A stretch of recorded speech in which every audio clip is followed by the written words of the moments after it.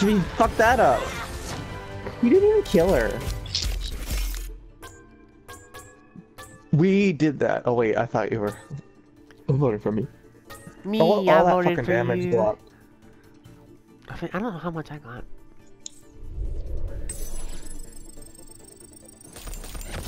I blocked uh, 9001. Uh, and I did very, I blocked 149 this Zarya.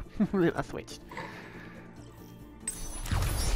That's over. That's canceled. I have a box of loot. It's all gonna be Moira stuff. I'm still laughing at that. Symmetra play of the game being me blocking D.Va's bomb and then us killing her. Let me. You know what? I'm gonna report that Tracer from the last match because she kept spamming. Don't be daft. And, you know that's a that. legitimate. Yeah, I'll report them too. What was their name? Um, Pokedude 98. You can report. Do you know you could report people more than once? I just now figured this out, so I'm gonna do it like ten times. Okay. Spamming.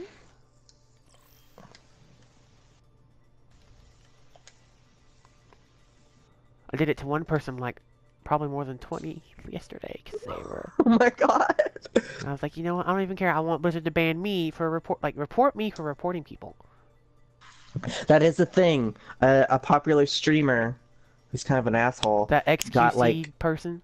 Yeah, or it was XQC. Yeah, he is a popular Winston player, and he reportedly got banned for like a day or two. That's apparently for sending too many reports or something. Oh, I just know it. me, bitch. it's- It just got the. It just sparked the debate of like, what we can be banned for reporting.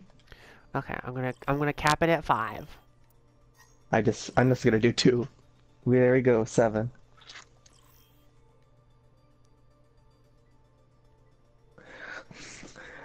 Report someone for spam. Spams reports. Yep. And block just 'cause I don't like you. Just